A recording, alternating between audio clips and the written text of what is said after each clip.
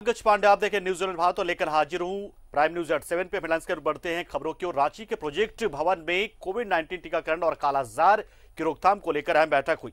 बैठक में सीएम हेमंत सोरेन के साथ स्वास्थ्य मंत्री बन्ना गुप्ता भी मौजूद रहे और स्वास्थ्य विभाग के तमाम आला अधिकारी भी इस दौरान मौजूद रहे। बैठक में कोविड 19 टीकाकरण और शीत श्रृंखला प्रबंधन की तैयारियों की मुख्यमंत्री ने समीक्षा की। बैठक में कोरोना टीकाकरण को लेकर सीएम ने कई अहम दिशा निर्देश भी दिए। समीक्षा के बाद स्वास्थ्य मंत्री बन्ना गुप्ता ने कहा कि राज्य के करीब डेढ़ लाख लोगों को पहले चरण में वैक्सीन मिलेगा। वैक्सीनेशन अभियान में 6000 कर्मियों को ये लगाया जाएगा। वैक्सीन के रखरखाव की भी तैयारी पर चर्चा की गई है। स्वास्थ्य मंत्री ने यह भी कहा कि सबसे पहले कोरोना योद्धाओं को वैक्सीन दिया जाएगा। मुख्यमंत्री हेमंत सोरेन ने कोविड 19 टीकाकरण और शीत श्रृंखला प्रबंधन की तैयारियों की समीक्षा की। तो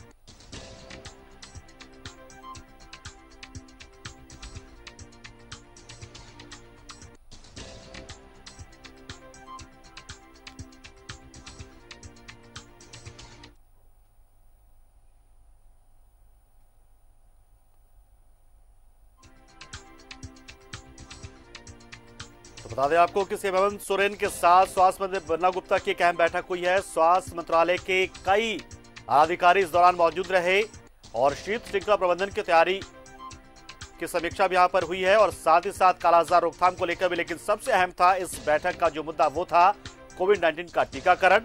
और इसको लेकर ही ये बैठक थी, लेकिन साथ में कालाजार और शीत श्रृंखला प्रबंधन को लेकर भी यहाँ पर समीक्षा की गई।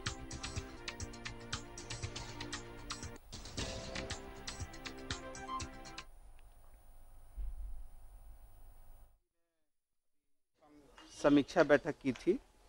उसमें चीफ सेक्रेटरी साहब, हमारे प्रधान सचिव, हम और होम सेक्रेटरी साहब थे। तो उसमें जो आने वाला वैक्सीन है, जिसके लिए आज माननीय स्वास्थ्य, केंद्रीय स्वास्थ्य मंत्री आदरणीय हर्षवर्धन जी ने भी वीडियो कॉन्फ्रेंसिंग की थी।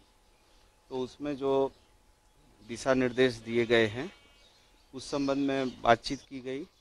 उसके बाद जो कालाजार, जो हमारे संथाल परगना में चार ज़िले में अभी भी है, उसके अनुमूलन के लिए हम लोग क्या क्या कदम उठाएँ और उसमें क्या व्यवस्थाएँ करें, इसको लेके दो गंभीर विषय को लेके हम लोग की बैठक हुई। हम लोग के राज्य में करीबन डेढ़ लाख लोग ऐसे हैं जिनको प्रथम चरण में वैक्सीनेशन करने की आवश्यकता है। तो इसके लिए हम लोगों ने तैयारी भी कर ली है।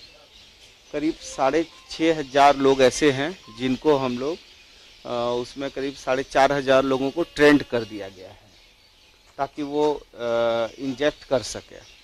और फिर 820-25 लोग ऐसे हैं जो लोग उनके सहयोगी साथी के रूप में काम करेंगे।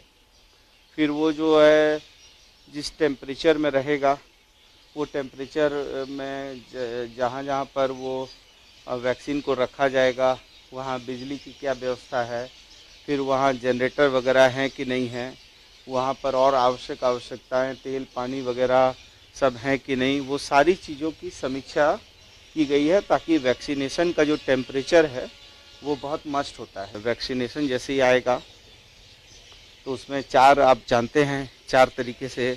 सबसे पहले तो वो लोग हैं जो हमारे फ्रंट लाइन वर्कर हैं, जो हमारे कोरोना योद्धा हैं। दूसरे, जो मेडिकल के लोग हैं। दूसरा हमारा जो सपोर्टिंग लोग हैं, जैसे पुलिस के लोग हैं होम गार्ड के लोग हैं, और भी जो लोग हैं।